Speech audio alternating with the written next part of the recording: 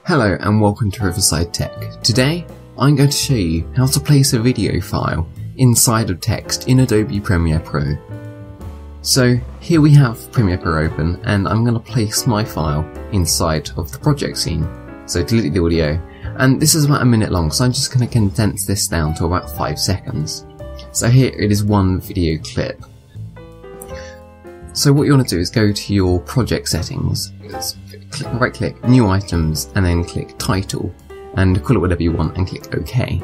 So over at the right and over at the right hand side you can change up here title, styles, tools and properties. Now I'm going to place on this text style which looks quite nice. So and then I'm going to call it title and then just enlarge it at the top here.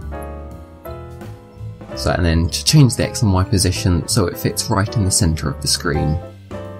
Like that. Okay, so this is what we want to put our video onto. Though, here is one I made earlier, and I think it looks a bit better, so you can play around and choose what text style you want.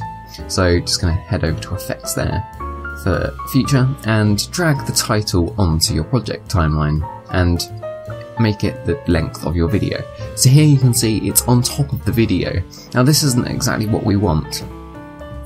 So click on your video file in the timeline, go to settings, and in video effects, down and then down to keying, drag tr track matte key onto your video file. Now, you won't see anything having done now, but over on your effects controls on your video, there will be the option to change the matte and the composite using. Now on the matte, you just want to change it to whatever video layer your video uh, text is on, and here mine's video 2. So as soon as you click that, it will go onto your video file and you have the finished product right there. So as you can see, it is a straightforward method of putting your video on a text layer. Now thank you very much for watching, I hope you enjoyed this video and found it informative. If you did, please a like, please leave a like and subscribe for more tech videos from Riverside Tech. Thanks, stay tuned, goodbye.